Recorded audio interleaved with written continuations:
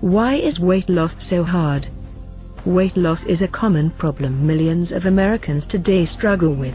Very few Americans have been successful at losing a desired amount of weight. The main problem is that most cannot stick to the designated program. For instance, a general weight loss program includes both diet as well as exercise.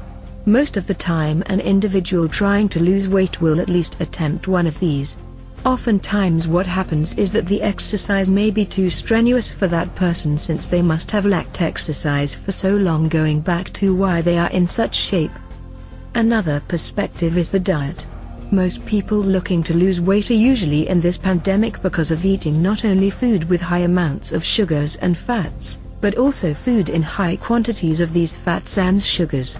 This becomes a significant problem because changing old habits for anyone is such a difficult process especially in America since you can't walk two feet out your door without seeing a McDonald's. So in the end dieting or weight loss in general is such a difficult process because of the extreme new way of life you would have to adapt to. A recent statistic said that of those who fail to reach an ideal weight goal in a diet actually gain more weight trying the diet rather than losing.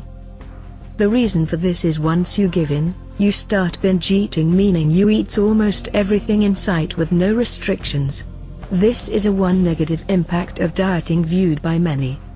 Of course most researchers, doctors say diet and exercise are essential for a healthy life, whether losing weight or not.